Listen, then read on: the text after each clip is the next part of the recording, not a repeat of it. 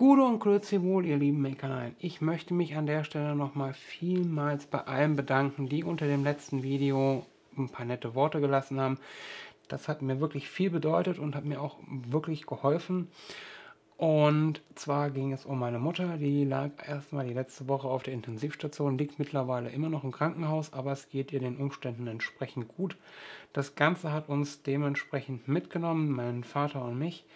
Und wie ihr sehen könnt, ich habe jetzt gerade erst wirklich das Video für Mittwoch aufgenommen, was ich normalerweise mittlerweile mir angewöhnt habe, jetzt schon fertig zu haben. Deswegen nochmal vielen, vielen lieben Dank für euer Mitgefühl und für eure netten Kommentare. Und das hat mir wirklich weitergeholfen und ich wollte es einfach nicht so unkommentiert da stehen lassen. Und in diesem Sinne, vielen, vielen lieben Dank nochmal. Hodl the Line, Happy Printing und ciao.